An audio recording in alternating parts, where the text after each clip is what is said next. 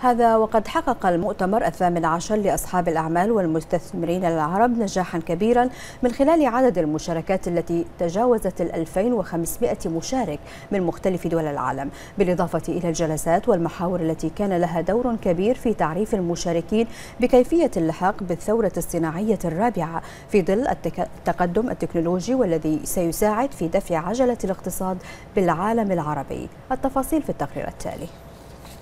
لحاجتنا الحقيقية للتعاون والتفاهم حول صناعة أرضية صلبة والاستفادة من الثورة الصناعية الرابعة التي تجتاح العالم.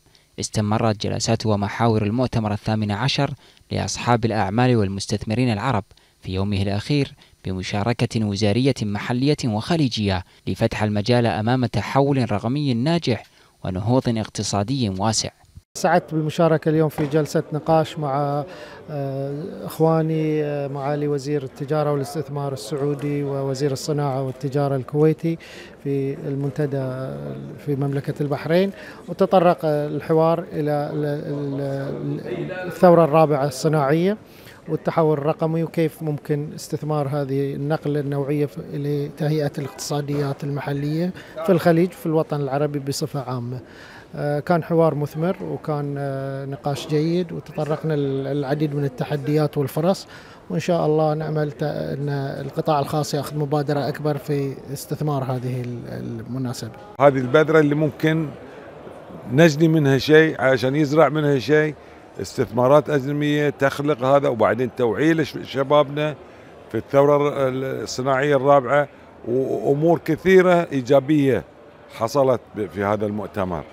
وإن شاء الله نبني على هذا المؤتمر والحين الشغل المضبوط يبتدي.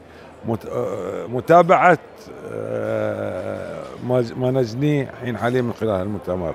بين مباحثات وتفاهمات بين بين بين, بين آه، رجال الأعمال والشباب والأفكار. التطلعات الكبيرة للمشاركين في المؤتمر والرؤى المستقبلية هذه انطلقت من مملكة البحرين لتضيء الطريق نحو التقدم والازدهار ومستقبل أكثر أمنا نظرا للتغير المتسارع في تكنولوجيا المعلومات.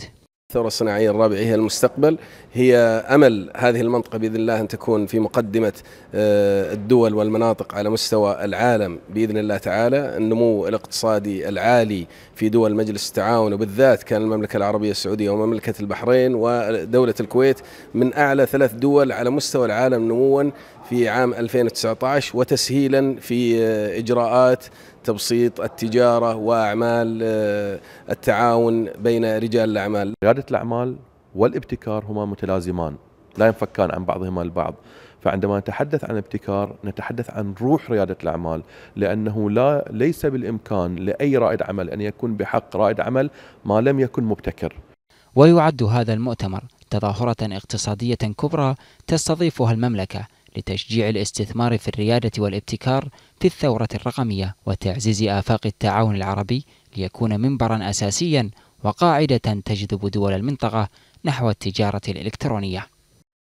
هذا التفاهم الكبير من قبل المتحدثين في هذا المؤتمر يدل على حرص المملكة ببحث كافة السبل للتحول إلى اقتصاد رقمي ناجح وكيفية الوصول له بطريقة مبدعة ومبتكرة يكون رواد الأعمال والمستثمرين العرب هم الأساس لعالمنا العربي.